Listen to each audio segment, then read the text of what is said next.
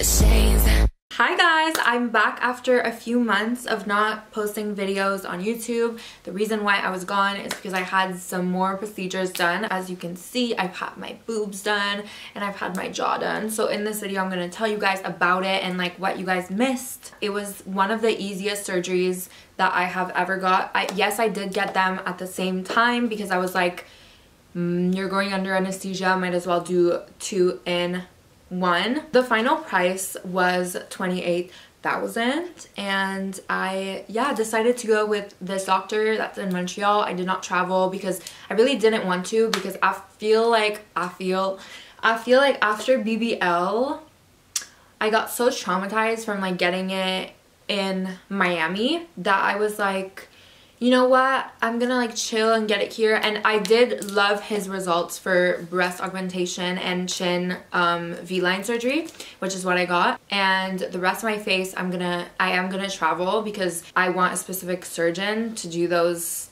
things left that I want to do. Overall, the pain was literally non-existent. I've had more of a struggle with my jaw. Um, so basically what he did, um, he cut the inside of my mouth all the way around here. And then he pulled it open, like pulled my mouth open, and then shaved and cut out bones. I will insert a picture right now of the bones that he did take out. They are humongous. That's a lot of bone for a jaw. And he did take out so much that he did say that I could get like um, loose skin under my chin since he took out so much. It was a risk and I do have a little bit. Sometimes in certain angles I can see a double chin which is like kind of like irky to me. It's been what like almost two months. I've had it on November 6th so it's almost been two months. The boobs, literally the easiest surgery I've ever had in my entire life. Had no pain. The only pain I felt when I would lift my arms, try to pick something up that was kind of like heavy. That was like very surprising. The thing with the jaw is that you can't eat solid food for like a while after because your mouth is like stitched um, closed, this part. Had to be on a liquid diet for like a week. So I did lose so much weight, but I, I gained it all back like the two weeks after. Yeah, I was pretty surprised overall. Like it was super easy and I'm so happy with the results. He killed it. Um, it is still swollen. Apparently like it's gonna take a few months for the swelling to like leave fully. So I hope that my double chin that I have in like certain angles is the swelling. For the boobs, I did go under the muscle and I chose to go with 375, I think, cc's.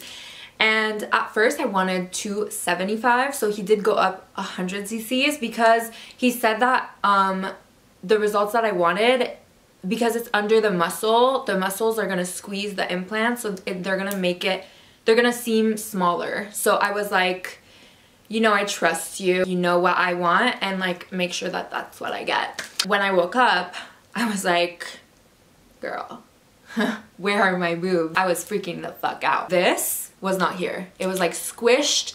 I looked even flatter than what I came in with. My friends that have got their boobs done, they were like, relax, it's normal, like your muscles are just like so fucking tight and they're not stretched at all. And then your real boobs, like on top of it, since I got out of surgery and they like were traumatized, they were like, Ugh. it looked like I was so flat, flat chested I was kind of freaking out. One of my biggest worries was that they were gonna be far apart because I do have a tiny ass chest. A lot of people when they meet me in person, they think I facetune the fuck out of my pictures. I kind of do, but like not that part. My waist is always small. My like rib cage is small. I'm just built small there. I was really scared that they were gonna like separate. You know those girls that have like their boobs under their fucking arms? Like they're so separated like this. I just did not want to have that. It was like one of my biggest like worries. So I did mention it to him again and again. And then right before I went into surgery, I looked at him and the anesthesia was kind of hitting and I, or the drug that they give you before anesthesia. And I look at him and I go, you better make my fucking chin so tiny and pointy. And then I go, and if my boobs are far, because you're on, you're on drugs, right? It's basically drugs. So I was just going off telling him exactly what I wanted and bitch he ate. For my chin, it was pretty like traumatic because I have to wear like a fucking chin strap for the longest time. It's so uncomfortable. I've had a lot of sleepless nights and like still now I feel like my schedule is fucked up. I go to sleep at like 3 a.m.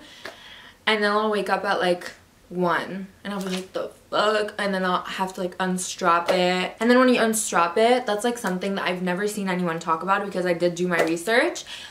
When you unstrap it you feel like your whole fucking face is gonna like fall. It's insane. It's like so scary.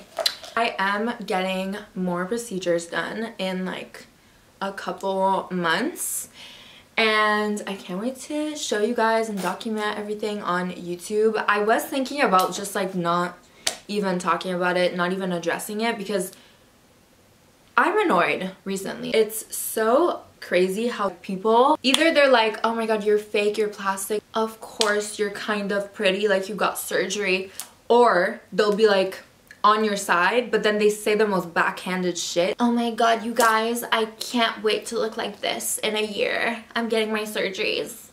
Okay, so you're just telling me that I look like this because I'm getting surgeries and you're summing me up in a year. In terms of life update, I am currently single and I don't remember exactly what you guys don't know because it's been so long since I talked on YouTube, but I would probably do like a Q&A life update um, like soon. Yeah, I'm getting surgeries in a few months. So hopefully I will post more videos before that. And yeah, I love you guys so much. Thank you so much for um, just, you know, being here still. And if you've been here since the beginning, you are a OG. I love you so much. Oh, wait, I forgot. I forgot the biggest thing of all, you guys. Okay, so I I'm getting a third vaginoplasty. I know, it's like, what the fuck, you've had two, like, what's not going right now. Dilation, it's like a bitch. It's been three years, I'm dilating almost every day still, and it's still so fucking tight, it hurts. It's just not working. So I decided to get the colon one, which is basically they use a piece of your colon. But then one of my friends have mentioned that they kind of smell and they leak a lot of like discharge. So I was like, no thank you.